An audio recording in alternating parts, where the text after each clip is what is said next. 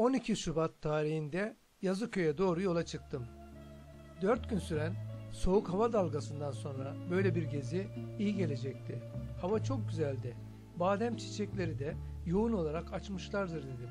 Kısacası doğada dinlendirici, sakin bir zaman geçirmekti niyetim. Akşam yağmur yağdı. Görüldüğü gibi yerler ıslak. Bazı kısımlara sabah da yağmış. Böyle gezilere çıkarken herhangi bir planım, programım olmuyor. Yıllardır gördüğümüz, gezdiğimiz yerler, karşılaşacağımız sürprizler, yeni tanışmalar bu gezilerin heyecan veren kısmı. Hafta içi olmasına karşın Bet yolunda bayağı bir arabayla karşılaştım. Gidenler, gelenler. Badem çiçekleri geçen yıllara göre bu yıl geç açıyor. Birçok yerde daha tam bir çiçeklenme göremedim. Yazıköy'e yaklaşırken bu bölgelerde bademlerin çiçeklendiği belirgin olarak görülüyor. Yazıköy'den Değirmenbükü yoluna girdim. Geçen hafta Ekrem arkadaşımla yine gelmiştim. Değirmenbükü yolu toprak bir yol. Yağmur suları nedeniyle özellikle bu aylarda daha bozuk oluyor. Çok güzel görüntülerin arasından geçtiğim anlar. Sarı, yeşil ve beyaz renkler ağırlıkta.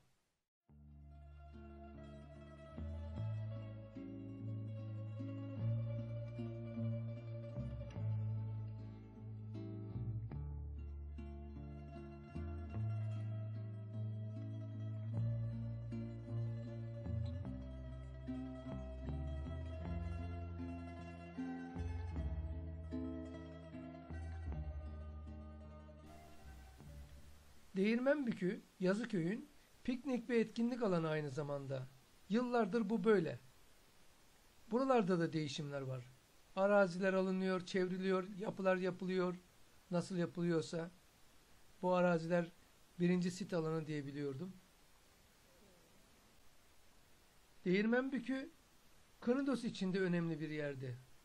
Antik kalıntılara birçok yerde rastlanıyor. Bölgede yetişen ürünler kıyı boyunca uzanan liman ve iskelelerden teknelerle taşınırdı. Tepede Bizans döneminde yapılmış manastır kalıntısı dinsel açıdan da önemli bir yer olduğunu bize gösteriyor.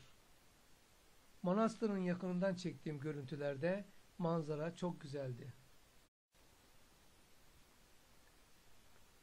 Buradaki tepe üzerinde bir manastır yapısına ait kalıntılar var. Uzun yıllar çobanlar kullanmış. Zaman zaman belgeledim. Bugün baktığımda bayağı bir kötüye gidiş gördüm. Artık tonos kısımlar her an çökebilir. Buraya gelenlerin de dikkatli olması lazım. Yapı hakkında fazla bir bilgimiz yok.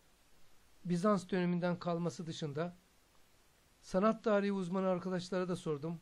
Fazla bir bilgi alamadım milattan sonra 12. yüzyıla kadar giden yapılar olduğu söylendi. Bazı kısımlarda işçilik kaba, bazı kısımlarda daha gelişmiş bir yapı işçiliği gördüm. Bugün kısa bir gezi yapacağım görmeniz için. Daha ileride tonozlu kısımlar da var. Bilgi vermek amacıyla biraz gezeyim. İnsan korkuyor. Her yer çatlamış. Özellikle çatı kısımları. Burada hububat türü şeylerin saklandığı silo gibi bir yer var. İçi rutubete karşı sıvanmış. Biraz ileride bir kilise görünüyor. Her tarafı bitkiler kaplamış. Yürümek zor oldu. Hava oldukça sıcak. Bundan sonra bu gibi yerlerde yılanlara karşı da dikkatli olmak lazım.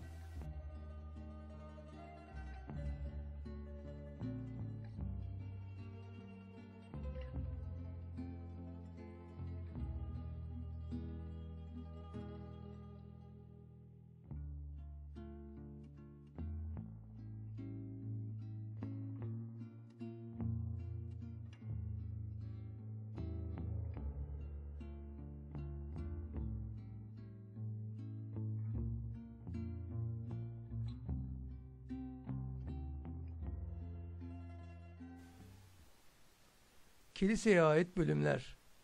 Aslında güzel bir mimarisi varmış. Zamanında önemsenmediği için bugün bu halde maalesef. Buralar yöre halkınca mağara diye adlandırılıyor. Hapishane diyenler de var. Karşımızda büyük bir dini yapı kompleksi uzanıyor. Tam olarak planını çıkaramadığımdan ne diyeceğimi bilemiyorum. Doğuya doğru birbirine bitişik binalardan oluşan bir manastır diye düşünüyorum. Bizans döneminde Knidos piskoposluk merkeziydi.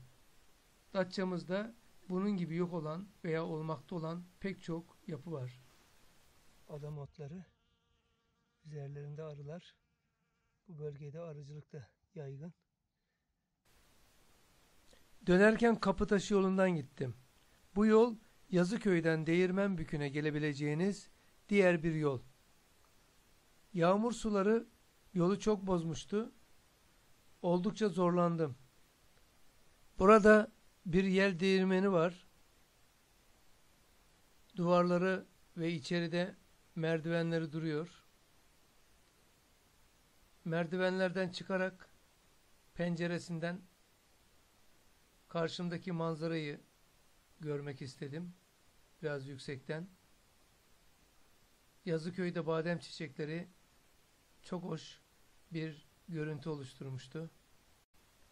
1950'li yıllarda çalıştığı bilinen değirmen en son Yazıköy'den Fevzi Köse tarafından çalıştırılmış. Yapıldığı yer fazla yüksek olmadığı için iyi rüzgar alamadığı, randımanlı çalışmadığı söylendi. Duvarlarında çevreden toplanan düzensiz taşlar kullanılmış. İşçilik biraz kaba görünüyor. Badem çiçeklerinin en güzel zamanları vadileri, ovaları topluca şenlendirdikleri zamanlardır. Beyaza bürünmüş arazilerin görüntüsü bir başka olur. İşte Yazıköy ve Cumalı arazilerinde o gün ben bu görüntüleri gördüm.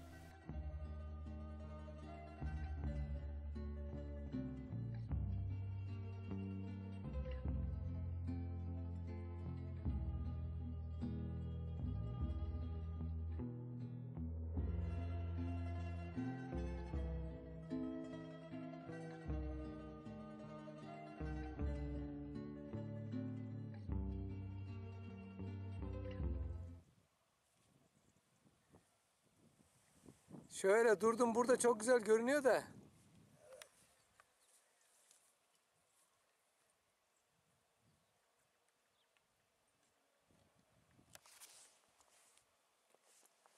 Siz kimsiniz? Fevzi Akdeniz. Fevzi Akdeniz. Evet. Bu değirmenle bilgin yok değil mi?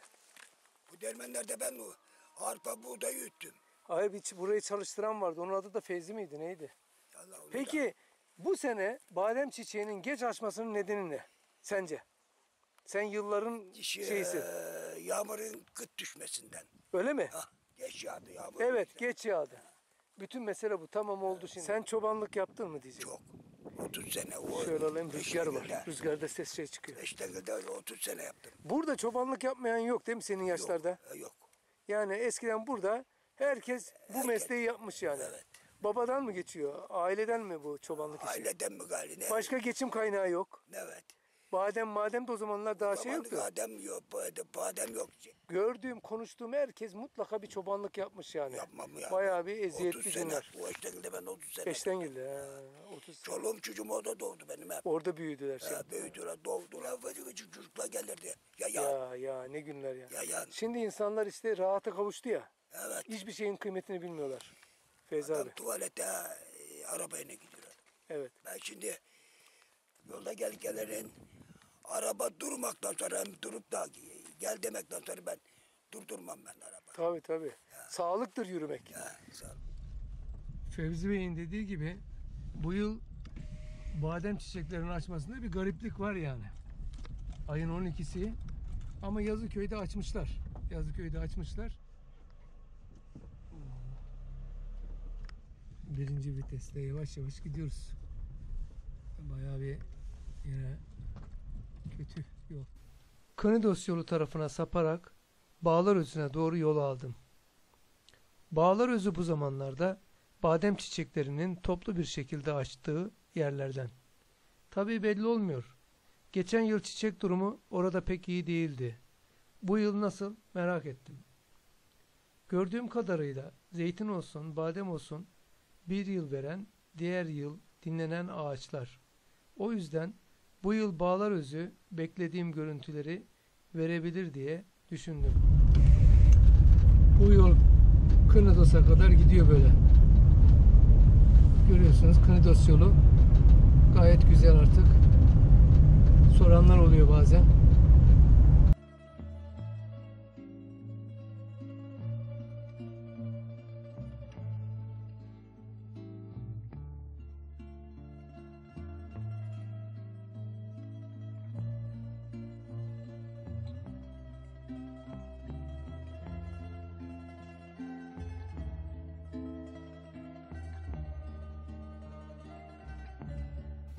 Beklediğim gibi bağlar özünde badem çiçekleri büyük ölçüde açmış.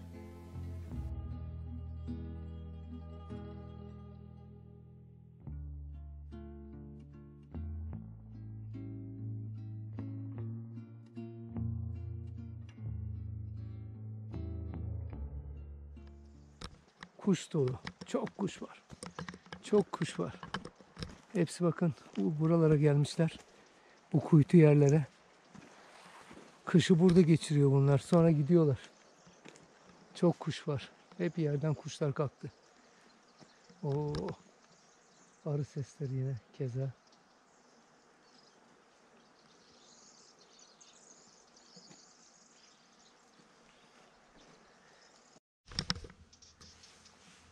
Çok güzel bir ağaç.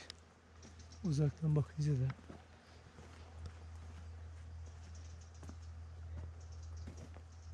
Sesler geliyor.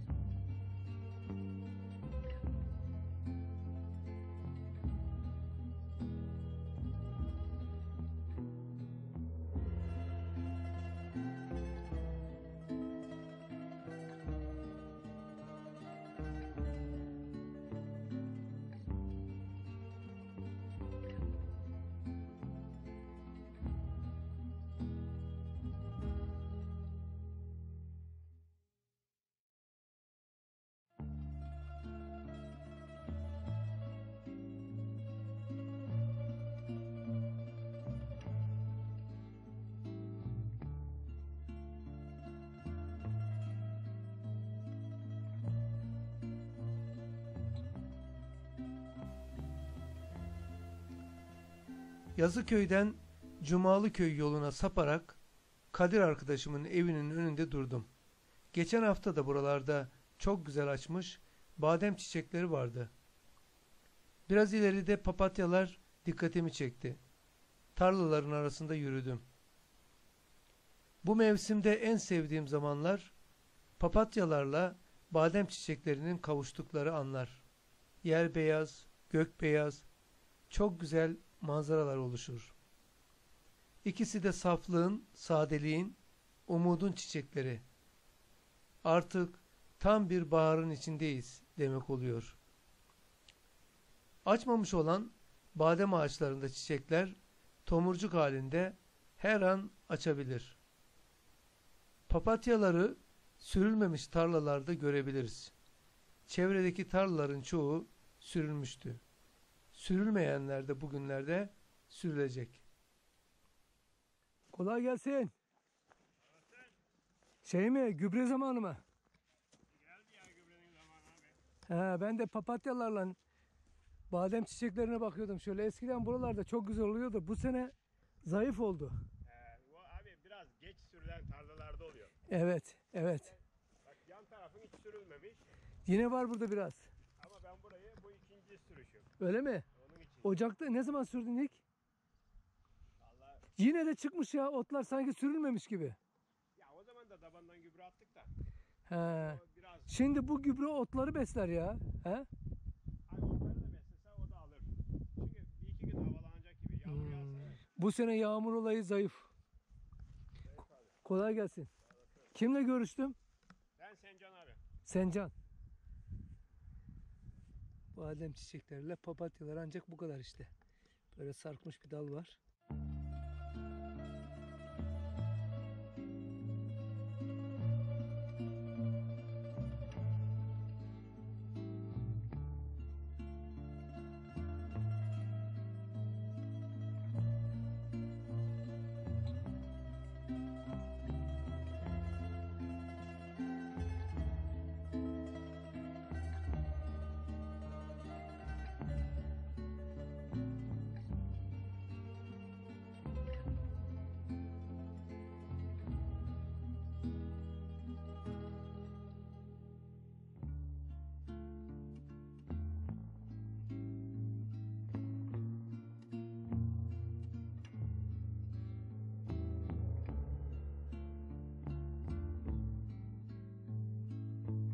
İleride pembe renkli çiçekleri olan çok güzel bir ağaç var. Oraya doğru gidelim bakalım.